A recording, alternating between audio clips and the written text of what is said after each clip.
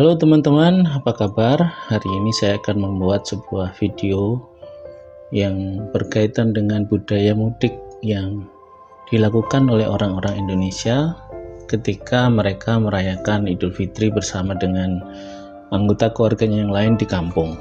Jadi eh, setelah dua tahun pemerintah Indonesia melarang kegiatan mudik dikarenakan oleh merebaknya COVID-19, tahun ini kegiatan itu akan terlaksana kembali. Anda bisa membayangkan situasinya seperti apa, bahkan sekarang sudah terjadi kemacetan di mana-mana oleh karena kegiatan mudik itu. Tentunya mudik boleh dilaksanakan pada tahun ini dengan melaksanakan beberapa syarat yang mungkin Anda juga sudah tahu, salah satunya mengenai vaksin. Nah, dari sekian banyak alat transportasi itu, baik lewat darat, laut, maupun udara, yang paling berisiko mungkin itu adalah sepeda motor. Karena dengan mereka mengendarai sepeda motor, dengan segala kemacetan yang ada di jalan, dengan sekian waktu yang harus ditempuh, dalam kondisi capek dan sebagainya mungkin akan mengurangi fokus atau konsentrasi ketika berkendara. Sehingga jika Anda menggunakan sepeda motor mungkin akan memicu kecelakaan yang terjadi. Tetapi memang ini menjadi pilihan yang sulit ketika mereka yang mudik tidak memiliki ongkos yang cukup mungkin dengan menggunakan alat transportasi yang lain dan mungkin juga mereka menggunakan sepeda motor juga karena jaraknya tidak terlalu jauh. Nah, di sisi lain ada juga alat transportasi darat yang bisa dipilih yaitu bis antar kota. Nah, di sini saya ingin berbagi pengalaman dan ini bukan pengalaman saya pribadi tetapi cerita yang saya dapat dari tetangga saya ketika saya masih muda dan ini juga bukan peristiwa mudik tetapi bahwa kita harus hati-hati juga dengan alat transportasi apa pun yang kita pakai ketika kita mudik. Hati-hati di sini maksudnya bukan hanya tentang kecelakaan atau keselamatan, tetapi juga hati-hati dengan kejahatan yang bisa saja terjadi di mana pun kita berada, kapan pun kita melakukan perjalanan itu. Jadi, mari kita simak kisahnya berikut ini. Awalnya saya mendengar kabar buruk dari seorang teman dari kampung. Pada saat itu saya masih SMP dan ini termasuk kakak senior saya yang di kampung. Jadi kami ngobrol ketika kami berkunjung ke rumahnya setelah kejadian itu kami biasa saling berkunjung pada saat itu untuk sekedar ya namanya silaturahmi atau bermain. Beliau namanya adalah Mas Ahindro. Pada saat itu beliau bercerita ingin pergi ke Surabaya ke tempat kakaknya untuk mencari kerja kebetulan uh, beliau berangkat sendiri dari Kediri ke Terminal Nganjuk kota terdekat kemudian baru menuju ke Surabaya. Beliau ini usianya masih sekitar 25 tahun. Jadi dengan membawa tas yang besar berisi pakaian serta barang pribadi lainnya dan tidak lupa juga membawa berkas lamaran kerja untuk melamar kerja di Surabaya. Pada saat beliau berangkat, tidak lupa orang tuanya berpesan untuk hati-hati di jalan, karena bisa saja terjadi sesuatu yang tidak diinginkan, karena dia juga sendirian pada saat itu. Kemudian setelah membeli tiket kemudian dia juga melakukan perjalanannya diawali dengan perjalanan pendek dari Kediri ke Nganjuk terminal Anjuk Ladang. Dan pada saat sampai di Nganjuk tidak lama ada penumpang yang masuk dan duduk di sebelahnya. Penumpang ini adalah seorang laki-laki yang sudah agak tua sekitar 40 tahun berkumis, rambutnya panjang dan badannya masih tegap. Dan laki-laki itu berinisiatif mengajaknya ngobrol pada saat itu. Tidak lama kemudian, sang kenek bis segera mengecek tiket dari para penumpang, termasuk mereka berdua. Setelah itu, mereka menunjukkan tiketnya dan setelah oke perjalanan pun dilanjutkan. Secara pribadi Mas Hendro ini tidak suka untuk bercakap-cakap pada saat perjalanan terutama perjalanan jauh dia ingin duduk diam di situ dan menikmati pemandangan serta mungkin tidur sejenak sehingga dia beristirahat di dalam bis. Tetapi kali ini dia terpaksa ngobrol karena bapak di sebelahnya itu mulai bertanya-tanya tentang sesuatu, tentang alamat dia, tentang tujuan dia dan sebagainya.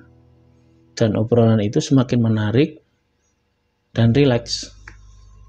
Tidak lama kemudian, bapak itu menawarkan sebungkus roti lapis untuk dimakan. Karena Mas Hendro ingat dengan pesan dari orang tuanya, dia menolaknya secara halus.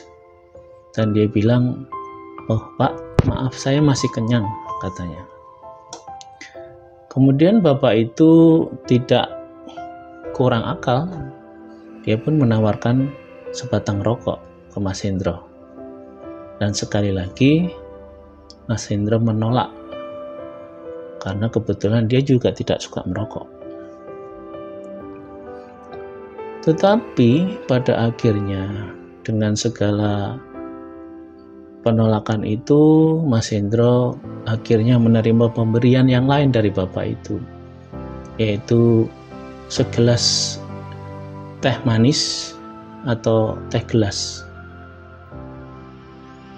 Karena dia tidak merasa curiga karena kemasannya itu masih terbungkus rapi dan masih bagus tidak bocor seperti itu. Di samping itu juga setelah sekian lama perjalanan dia juga mulai merasa haus. Tetapi tiba-tiba tidak lama kemudian dia merasakan kepalanya itu berat sekali dan matanya mulai mengantuk dan akhirnya Mas Hendro pun pingsan.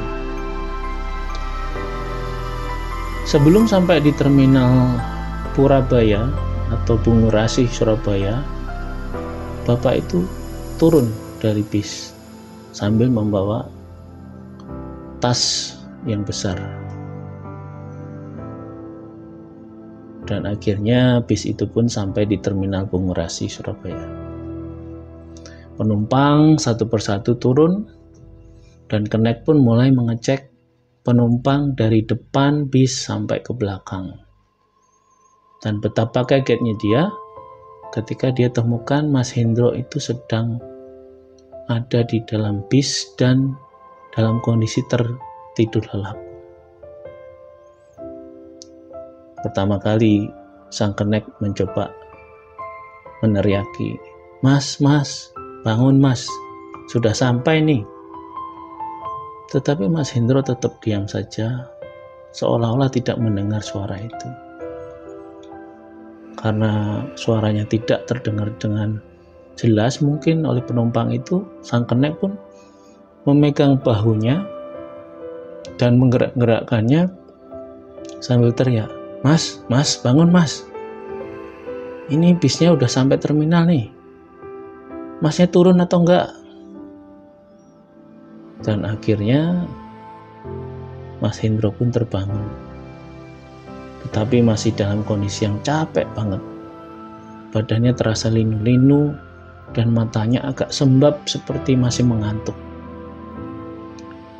Sang kenek pun segera menyuruhnya turun karena sudah sampai. Karena badannya masih terasa berat, Mas Hendro pun agak susah bangun.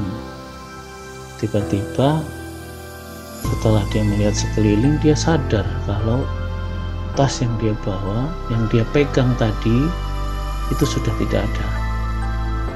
Ketika dia meraba bagian sakunya, saku baju maupun saku celana, ternyata dompet dan HP yang ditaruh di saku itu juga hilang langsung dia kalut dan gemetar badan. Terus dia tanya kepada Pak Kenek itu permisi Pak apakah Bapak tadi melihat bapak-bapak yang di sebelah saya? Apakah dia turun dari tadi atau barusan? Mas Hendro sepertinya curiga. Jangan-jangan bapak-bapak itu adalah orang jahat. Setelah mendengar pertanyaan Mas Hendro tadi, sang kenaik pun bilang, Oh, bapak-bapak yang sebelah mas tadi ya? Tadi sudah turun sebelum terminal mas, sambil membawa tas. Wah, berarti jangan-jangan tas yang dia bawa tadi tasnya mas ya? Waduh, gawat nih. Begitu kata-kata Mas Hendro. Untungnya dia tidak pingsan lagi. Dan sang kenek pun kaget mendengar cerita Mas Indro tentang beberapa hal yang dicoba ditawarkan oleh bapak tadi itu. Dan dia pun segera mengecek gelas plastik yang jatuh di bawah bangku bis itu. Dia ambil, kemudian dia cium sebentar, dan langsung kagetlah dia dan dia bilang ke Mas Hendro wah mas kayaknya mas ini sudah dibius sama bapak-bapak tadi. Ini minumannya ini berbau bius mas. Berarti mas sudah mengalami kejahatan. Waduh. Gimana mas kondisinya sekarang? Bisa turun sendiri atau saya bantu? Kata kenek itu. Melihat kondisi Mas Hendro masih lemas akhirnya Pak Kenek pun membantu Mas Hendro turun dari bis. Setelah sampai di tempat duduk dekat warung di terminal Mas Hendro pun segera minta tolong kepada Kenek itu. Pak permisi. Apakah boleh saya pinjam HP-nya sebentar untuk menghubungi kakak saya yang di Surabaya? Oh, oh iya mas. Boleh boleh. Mas masih ingat nomornya? Oh masih pak, saya masih ingat. Ya udah segera telepon kakaknya ya biar ke sini. Meskipun dalam kondisi yang masih berat, Mas Indro segera memencet HP yang dipinjam dari kenek itu kemudian tidak lama sekitar 20 menit kakaknya datang ke terminal dan menjemput dia. Kemudian karena kondisi Mas Hendro masih lemas, kakaknya berinisiatif untuk menunggu sebentar Mas Hendro sampai dia pulih benar. Dan dalam ceritanya itu Mas Hendro bilang ke kami, hati-hati di jalan. Jangan seperti saya. Jangan gampang percaya sama orang, apalagi ketika kita diberi sesuatu ketika dalam perjalanan. Kejahatan itu bisa terjadi kapan saja dan di mana saja dengan cara yang bermacam-macam. Nah, itulah teman-teman cerita singkat saya dari pengalaman tetangga saya. Naik bis bagaimana kita harus tetap berhati-hati apalagi buat mereka yang sendirian. Jangan sampai belum sampai ke rumah kita sudah mengalami kejadian yang tidak menyenangkan. Kejahatan itu bisa terjadi di mana saja, oleh siapa saja, dan kapan saja. Semoga perjalanan mudik Anda tahun ini lancar dan bisa bertemu dengan keluarga serta kembali juga ke Jakarta atau ke tempat lain setelah mudik melanjutkan pekerjaannya seperti biasa. Selamat mudik, semoga lancar di jalan. Sampai jumpa. Selamat Idul Fitri buat yang merayakan. Sampai bertemu lagi.